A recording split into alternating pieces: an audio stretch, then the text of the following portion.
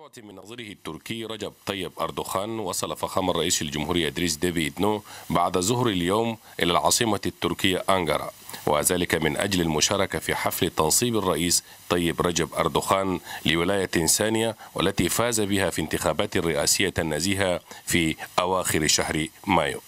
وفي مطار حسن بوا الدولي كان في مقدمة مستقبلي فخامته وزير الشباب والرياضة السيد عثمان أشكن ممثل الرئيس التركي وعدد من أعضاء الحكومة التركية وسفير تشاد لدى تركيا جدة موسى عثمان والسلك الدبلوماسي التشادي المعتمد في الجمهورية التركية.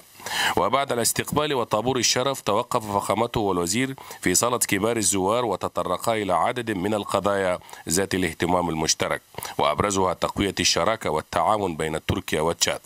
وبعدها توجه فخامته والوفد المرافق له إلى محل إقامته الكائن بفندق جران أنقرة وهنالك اصطف عدد كبير من الطلبة التشاديين الدارسين في الجامعات التركية لاستقبال فخامته والوفد المرافق له